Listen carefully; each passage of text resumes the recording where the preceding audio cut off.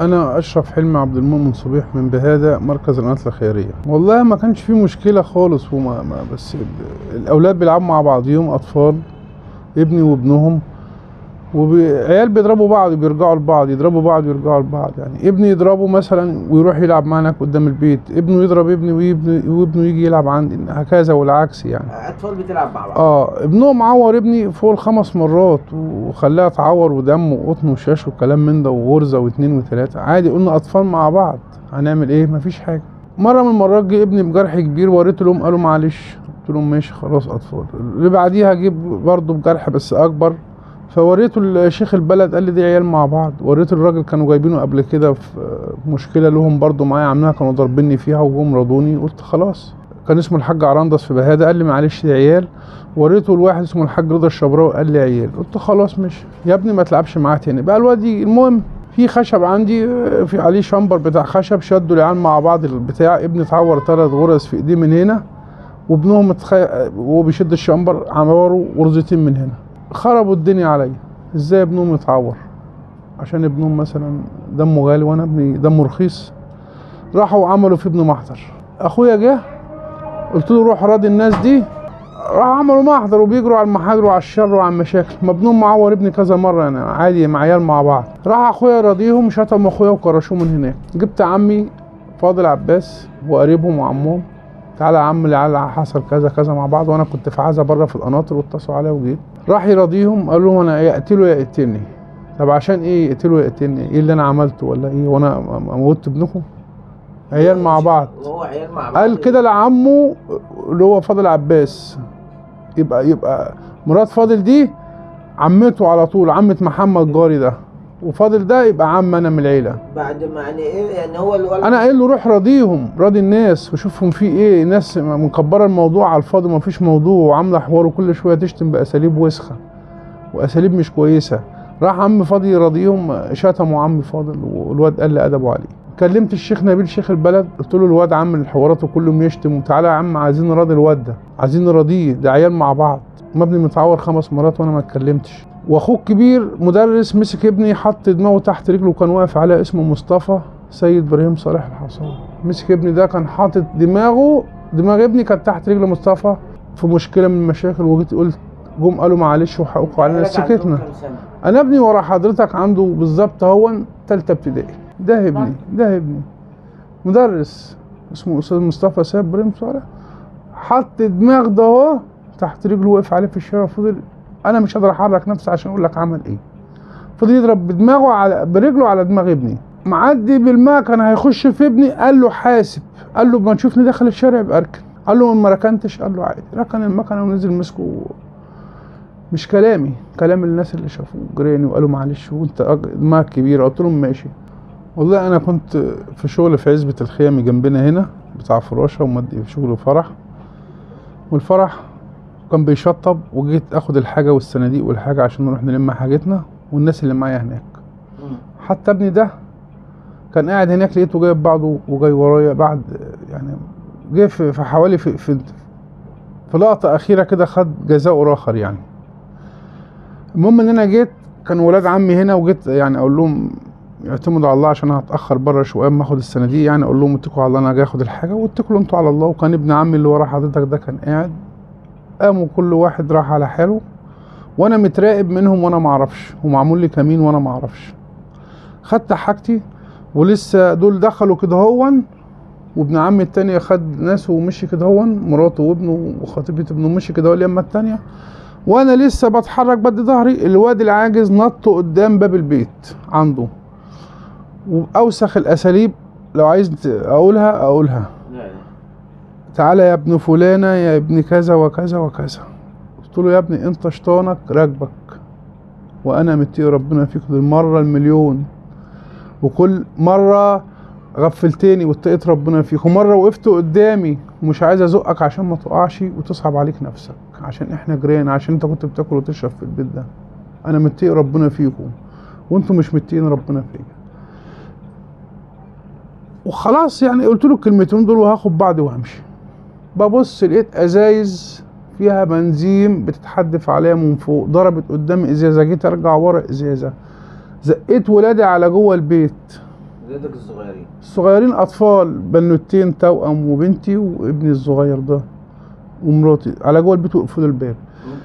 البيوت جنب بعض آه بينا وبينهم بيت واحد اهم آه. بيت واحد. جيت أجري كده لقيت حد مقابلني بسنة جيت أرجع من الشارع جيت أرجع كده لقيت واحد منهم. عاملين لك كمين؟ بقول لك فرقتين ومرتبين. أجي أبص كده ألاقي الزلطي والإزايز أجري كده. جيت أخش في مدخل الحارة لقيت واحد راح مديني بالشومة في رجلي. جيت أقوم بجري عادي ما اثرتش فيا. لقيت واحد مكتفني من رجلي من رجلي من تحت كده. اسمه عادل شرف أبو شعلة. كتفني من رجلي. لقيت واحد نازل على دماغي بشومة اسمه علي عبد الجبار. ضربت ده بالرجل هي العيال من الشرب دي برضو كلها أساميها في المحاضر. مش؟ كلهم أنا مشتكي أربعة اللي هم ضروني اللي ضروني اللي هو تامر اللي مزعني. الأسامي اللي أنت ضرتك اللي آه انت آه أساميها. آه آه. آه مين بقى؟ إنما واحد ماسك سلاح وواقف يقول اللي هيخش هموته ما ضرنيش. هو واقف مثلا يحاميهم هم ما اشتكتوش هشتكي لي ما هو ما ضربنيش. اللي ضربني ونازلين فوقي أيوه مين بقى؟ الأربعة اللي كانوا بيموتوا فيها بالسنج والبتاع دول. اللي هو تامر أخو مرزوق الحصاوي. تامر أخو مرزوق الحصاوي.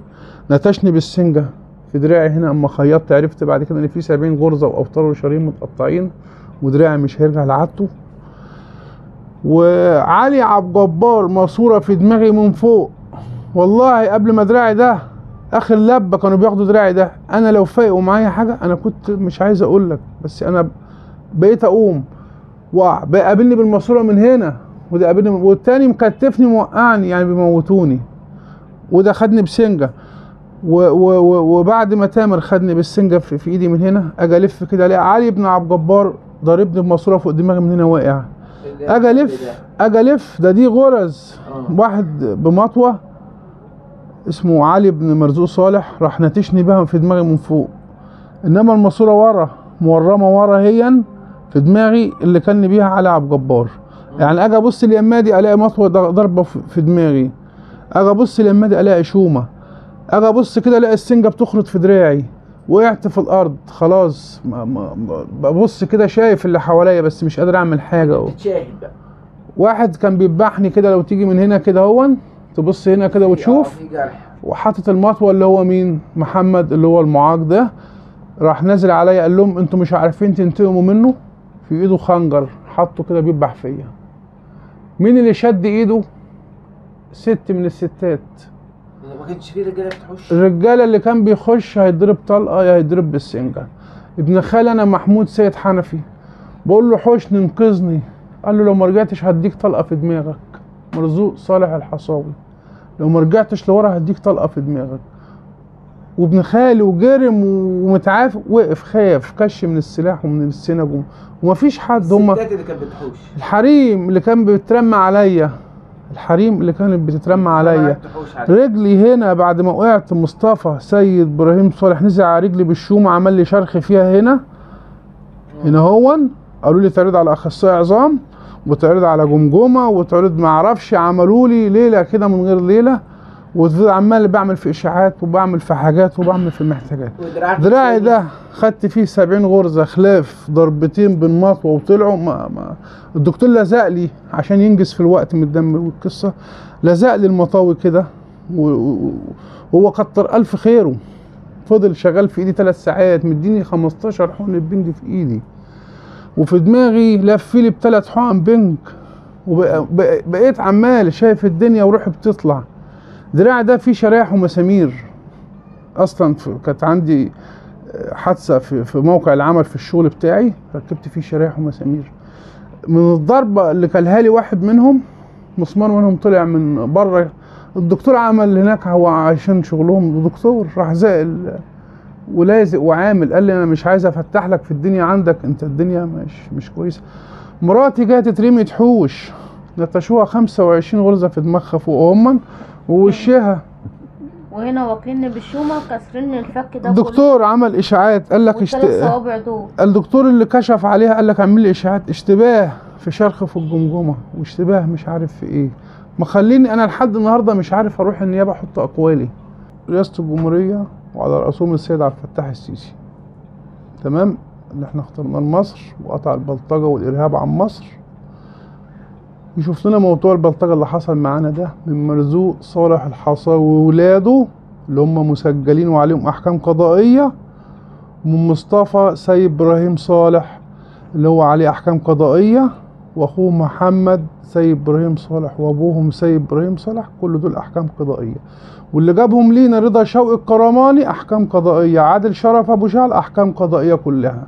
مركز القناطر فين حضرتك من الناس دي؟ أحكام قضائية مفيش حد اتحرك خد واحد. إلا في الواقعة اللي كنت بموت فيها. والباقي جري بناشد سيادتك السيد مدير أمن القليوبية سيادتك لو عايز تكمل دماغنا من فوق. انزل شوف شغل سيادتك. حرك مركز القناطر سيادتك. حرك فرع شبرا الخيمة. شوف البلطجية اللي في بهادة دي. بهادة ما كانش أي حد بيعمل أي مشكلة هو فيها بيجي لك تهديدات يا باشا مراتي اترفع عليها الفرد مراتي اترفع عليها الفرد من تامر الحصاوي وولاده ان جيت الطابونة هنضربك بالنار قدام الناس. وطبعا الناس بتخاف. لو في كاميرات روحوا فرقوا الكاميرات هتلاقوا الكلام ده. لو جيت الطابونة دي تاني هنضربك بالنار. يعني عمل فيها كده امبارح وجري من الحكومة ما جابتوش. يا بس الحكومة نزلت. نزلت وعملت اللي عليها جري. خلاص شكرا. الحكومة بتنزل مرة واحدة. الحكومة المفروض سيادتك قانوني ده شوف في قتل وموت أنا شفته. تنزل تجيب مراته وأخته ونسوانهم يلموهم زي ما بيعملوا في أي قضية كده سيادتك. يعني لما يكون ظابط رايح يشتكي بقى ينزلوا يلموا النسوان لهم. أنا ما فيش حد أنا فيش إلا ربنا وأنا. والدي توفى والدتي توفت ولادي صغيرين. مفيش صغيرين الكلام ده. معلش ما أروح ما أجيبش وبحبش- بالله هجيب لهم؟ قاعدين في البيت بقى ما نشوف نعيش إزاي ونعمل. إزاي ونخرج من بيتنا إزاي. ولا الواحد حضرتك يعمل إيه بالظبط؟ عشان نعيش كده ونتحرك ونخرج. نداء أخير للسيد وزير الداخلية ما تحركش في موضوعي أنا واحد من الشعب فقدت ثقتي فيك. ما تحركش وحرك مديرية الأمن ونزلت وخدت لي حقي في الموت اللي أنا شفته من الناس اللي هي في المحاضر دي فقدت ثقتي فيه